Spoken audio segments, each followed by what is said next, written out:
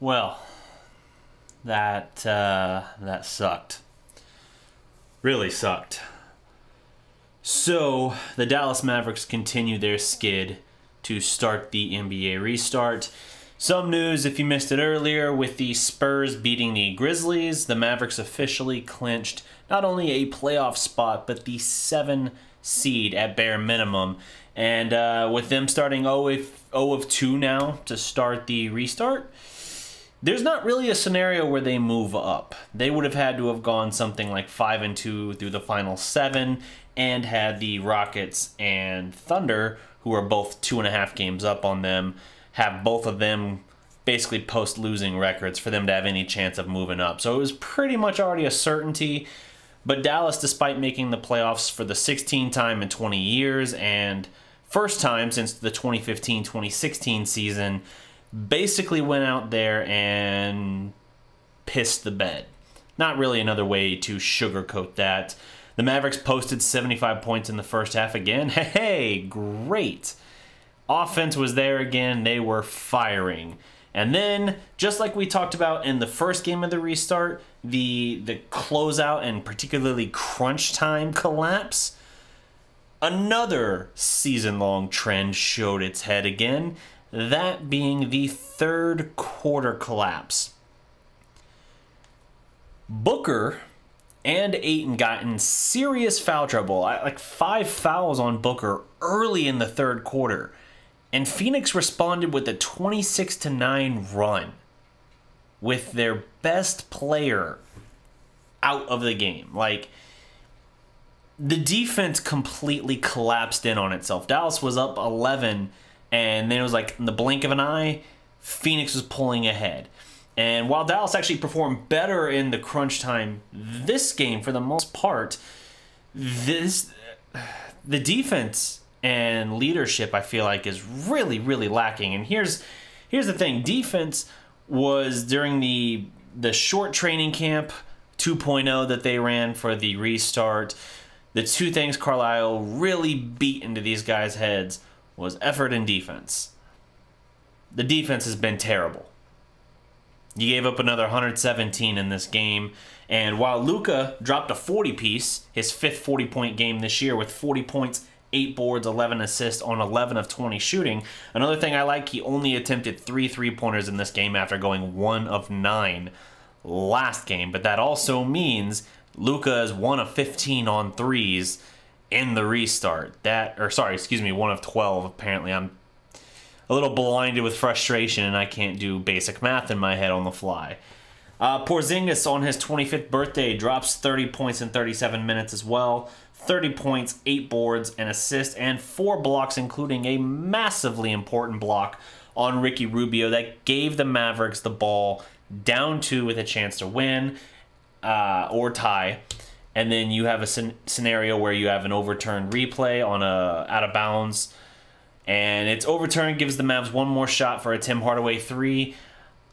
Ugh, man, Tim Hardaway's that dude on a lot of nights as far as you know, my, my Mavs fast break co-host Andy likes to say he's he's just ignorant enough to to pull the trigger on some just crazy threes, just fearless. Man, this was not the game for that. I put him on this list there on the the whiteboard next to me to spotlight while Seth Curry did bounce back with a respectable performance in this game, 16 points, Tim Hardaway Jr. took a page at a Curry's game one of the restart, going 1 of 12 overall from the field and 0 of 8 on threes. The Mavericks got nothing out of anyone not named Luka or KP. Luka 11 of 20, 8 of 18 of 19 at the line. Like Luka got to the cup at will, finished consistently, and then converted at the free throw line. Like that's exactly what you want him to do. KP, 10 of 20. 2 of 5 on 3, so it's not too many three point attempts for him either. 8 of 11 at the line. That's, you know, that's respectable. The problem is everybody else.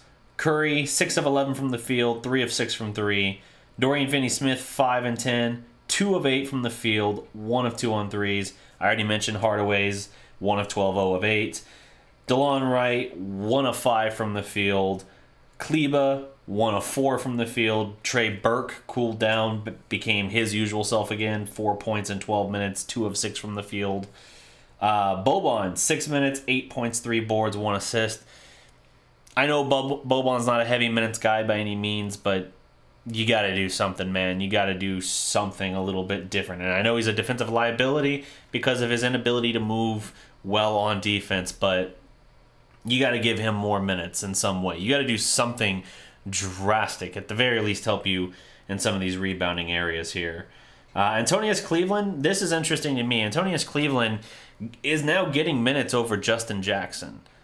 Rick Carlisle seems to be kind of signaling that Cleveland is going to get those heavier minutes over Jackson right now, which is a major demotion for Justin Jackson and a shocking elevation for Antonius Cleveland, especially considering he didn't really play with the team at all in this season. He was with the Legends. So to be in this scenario now is kind of incredible. He gives you three minutes, two points, nothing, nothing to write home about. But yeah, this game, this is a frustrating game, man. The third quarter is the story. The third quarter in the defense, just terrible. Devin Booker, 30 points. He goes 10 of 20 from the field, only one of four from three. Ricky Rubio is basically, I think it was uh, Tyler Adams, uh, Adam on Twitter calling it out. He's basically former Maverick killer Andre Miller at this point, near triple double out of Rubio, 29 and 7. Um, again, if KP doesn't get a fingertip on that incredible block in the final minute, I think he puts the dagger in it because he was controlling the final minutes of the game for Phoenix, it felt like. Uh, Johnson, 19 points, 12 boards, doing work. DeAndre Ayton, perhaps in part because of his foul trouble and just in part because of his rough shooting night, only 3 of 8 from the field. Uh, not a whole lot of impact in 21 minutes. 7 points, 8 boards. Certainly not the kind of eye popping numbers you would expect from a guy drafted where he was, but Phoenix got the scoring, man. They got freaking 10 points out of Cam Cameron Payne. That's crazy, man. He was on the Legends. We had him on the Legends. He went off for a little bit. There were people talking about, hey, maybe there's room for him on the Mavs roster, even though, even though he had been in Oklahoma City and then he'd shopped around when he was traded elsewhere. I forget where he went after OKC. But he was, you know, 26, 27 years old in the D League, so people were kind of like, ah, not really interested in that. But, you know, look at that. He comes in, only 4 of 10 from the field, but he comes in and gives 10 points off the bench for Phoenix. For whatever reason, as bad as Phoenix has been forever now, it feels like, they've kicked the Mavs' ass the last two years. And it continued to play out, man. You got two games, now one game left against Phoenix in this final eight. And you know, I myself was guilty of kind of looking past that and just saying, okay, surely, surely they're going to sort this out, right? They're going to take care of business and they're going to make sure that they get those wins because you got to play the Bucks. You got to play the Clippers. You already had to play the Rockets. So if you got two Phoenix games in there, you can't you can't screw around with that. You have to take care of business in those games. At the very least, you got to do it once. Like you got another shot at that, but I mean, let's be real. Even if you are essentially locked into the seven seed at this point, you can't mess around in this scenario. You need to close. You need to find some rhythm because at this point, your guys are shaken. They are shaken. Luka and KP have put up big numbers in each of the first two games, but it hasn't amounted to wins. Luka's getting to the cup at will in these last two games. A big moment in this game. Now I know Mikal Bridges had like five blocks or something crazy here for that. Let me look up exactly how many he had for them. Bridges had oh, he had three blocks. It felt like more. I guess I'm thinking deflections. In 39 minutes, only four points, one board, one uh, assist, but three blocks and two steals. So he was active hands, great defense he was right there. Luka got all the way to the cup, and there seemed to be a momentary hesitation, and he kicked out to KP for the three. KP short arms that, ball's tipped out of bounds between Dorian and a Suns player. Initially called Suns ball, overturned on review, sets up the inbound to Tim Hardaway Jr. on the ill-fated three. Gets a great look and just misses it. Um, but the Mavericks as a team have got to find some rhythm at this point because they look shaken for a team that supposedly focused for a solid month on purely defense. Their defense has been terrible. Terrible. And Luka and KP are doing work, but when no one else is performing, it doesn't really convert. It doesn't mean what you need it to mean. So, yeah, man, this might just be the uh, take your lumps, young fella, and move on scenario here.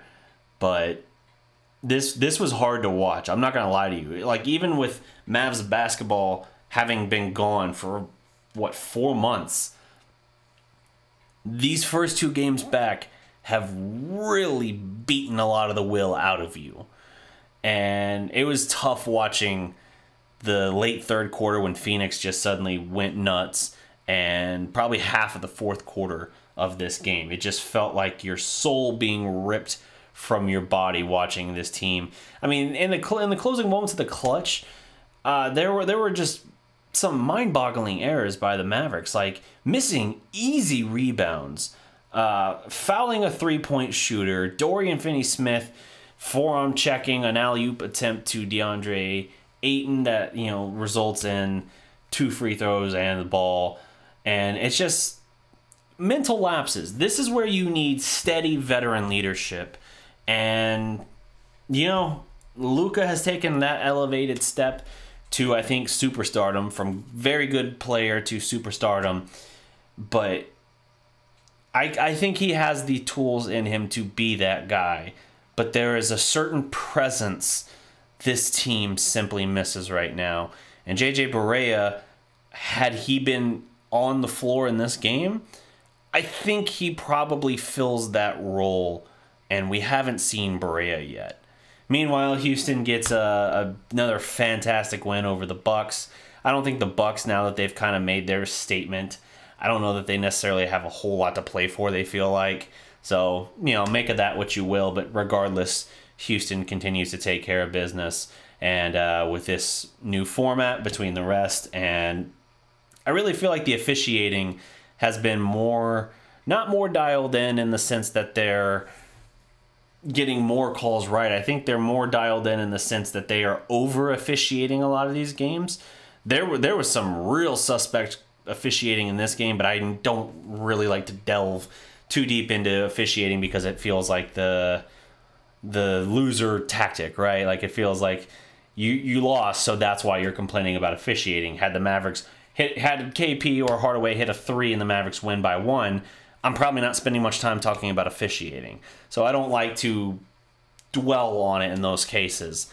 But I think the format especially without the crowd or whatever the digital fans not near the crowd noise that you have normally i think you hear everything and it's more suited towards their style of play where you have harden and westbrook you know just drawing all these fouls but regardless some here's some footnotes here from twitter i saw from uh, bobby Karalla. Luka Doncic has scored 20 plus in 21 straight games, now a career best streak. The only longer streaks in franchise history are Dirk at 31 and separately 29, and Mark Aguirre at 34. Obviously, or Aguirre has the franchise record. Uh, all things Mav called out the 26-9 run there. I screen capped that as that was happening. Uh, also from Bobby says both Booker and Ayton picked up their fifth foul early in the third quarter. Very unfortunate breaks for the Mavericks um, or those were very fortunate breaks for the Mavericks who needed to take advantage. But then you had that run, and the Suns flipped it to take the advantage, and it just kind of took all of the air out of the balloon. It felt like for Dallas. So yeah, I don't know what to say at this point for the Mavericks. They're 0 2 in the bubble. Uh, one of those obviously being the devastating o- OT loss to the Rockets. And now they got to get back at it Tuesday. They're going to face the Kings. And, you know, at this point, you kind of wonder because they already ate a bad loss early this year to the Kings. And I, I want to say that they can correct the ship. I kind of thought they would correct the ship here. I thought that they would take this a little more seriously, but after the after the first half, they kind of took their foot off the gas. The third quarter imploded, and then the fourth quarter was trying to reestablish control, but guys weren't hitting shots. You got two guys balling out, and everyone else kind of a little bit, but not much else. So while you had an offensive explosion from several players in the first game against Houston, everybody came crashing back to earth in terms of the role players in this game. So we'll see, man. This is going to be a tough one to swallow, but we've got to try and move on. Got to try and just find rhythm because at this point, my mind's not even thinking about any possibility or any possible scenarios of moving up. I'm just saying, hey, let's just try and find some rhythm and as much as we can sort things out. If we end up playing the damn Clippers, all right, fine. That's the path we were headed down prior to the season suspending anyway. Granted, there were 17 games left where you could have possibly separated that out and gone a little bit different, but I digress. I'm just rattling on at this point. Uh, not much else to say, man. This is a tough one, but we'll move on from it. If you like the video, don't forget to drop a like below, subscribe to the Dallas Prospect, leave, I already said leave a comment below, didn't I? Yeah, it's one of those nights. Till next time, remember, every legend was once a prospect.